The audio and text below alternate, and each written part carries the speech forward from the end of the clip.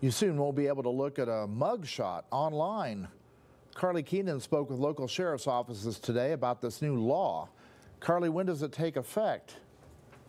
Sheriff's offices have until January 1st, Lee, before they have to make some system changes.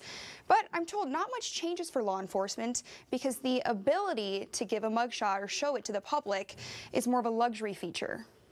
When someone is arrested and brought into the Deschutes County Jail for booking, the sheriff's office takes their picture and information. All of the information is uploaded to a server. A link is then shared with the public where people can view mugshots. Starting January 1st, the public will no longer have access to those pictures, and sheriff's offices will not be attaching mugshots to their press releases. It's to help prevent harassment and protect one's privacy.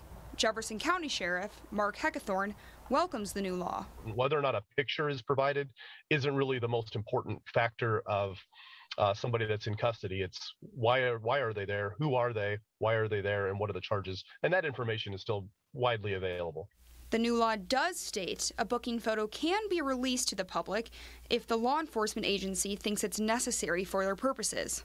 Sergeant Jason Janes with the Deschutes County Sheriff's Office says they'll evaluate sharing of booking photo on a case by case basis. I believe if there's a dangerous offender that's in the community that we need to take into custody, that could be one of those exceptions where it's, it's in the public interest to help us find this person.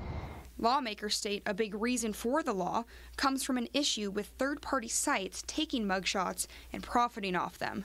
Do you think come January 1st, these sites will cease to exist? I think they will in Oregon, and so that's why I think that this is a good, an actual good program because it's going to eliminate that issue for for the residents not only of Jefferson County but for the whole state of Oregon. The law only applies to people who have not been convicted of a crime. If they are, law enforcement agencies do have the power to share a mugshot with the public. Lee?